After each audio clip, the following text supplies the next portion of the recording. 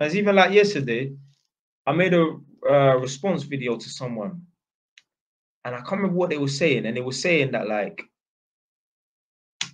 well, I, was saying something in the video about being homeless, like, oh, I saying that homeless people make bad decisions and that because they have. And someone come underneath that video saying, yeah, but you know, you can still get kicked out your parents' house and that. And I'm like, no way, it's impossible.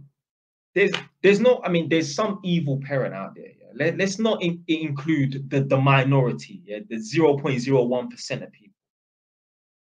There's no way, yeah, if you live at your parents' house and you get up and you work every day, you get up on time, yeah, you're on a positive path, they can see you're progressing with your life and that, and you help out around the house, you're an asset to the house. You should be an asset to the house. Yeah. You shouldn't be a spare part. You should be able to bring some sort of value to the house. Yeah. There's no way you do all those five and more. Even if your parents have no space for you, there's no way they're gonna keep.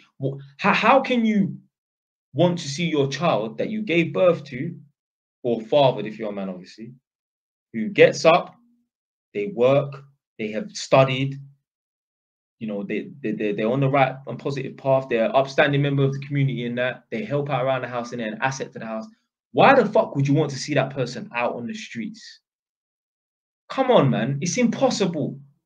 It's impossible. I'm not talking about that 1% of evil parents and that.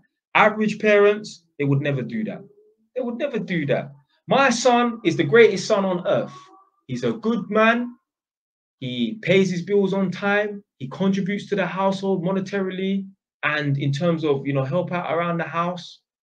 He, he's not a nuisance. He don't play loud music till two in the morning. He don't come back at four in the morning making up noise and that. He don't hang around antisocial people. He's a great man, but we're kicking him out onto the streets. Bullshit.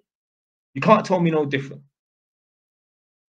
Even if there's no space in that house, yeah, they will let you sleep on the sofa or sleep on the floor. How the fuck can your mum rather you sleep out on the streets if you're a good person on the right path rather than sleep on the floor in the living room? What's your house that that crowded? Your mum hoards that much that there ain't even space for you to sleep on a sleeping bag on the floor. Come on, man. Use your brain. Use your brain. There's no way. There is no way your mum would kick you out of the house if you're doing everything you're supposed to. I tell you why people get kicked out of their house. They're smoking weed. They're waking up at two in the afternoon when they should be working during the day. They're hanging around with antisocial people. They got all their waste man friends coming over. They're making up noise. They got idiots knocking at the door at silly cock in the morning. That yeah, that's a reason to kick that person out of the house. I'm telling you, I'm telling you, it's, it's, it's impossible. It is impossible. Don't tell me about that one percent. Forget them. Let's talk about the majority.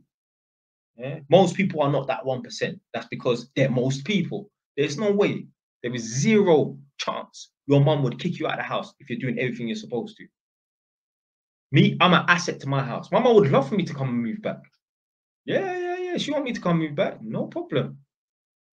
My mom wants me as close as possible. Mom was like, ah, oh, Jelani, do you think you can buy a property close to um like Edmonton and that? yeah, my mom wants me to come to be close. My mom don't want me just coming down on a weekend. My mom wants you just fly past, just ah, just stop off on a Monday or a Wednesday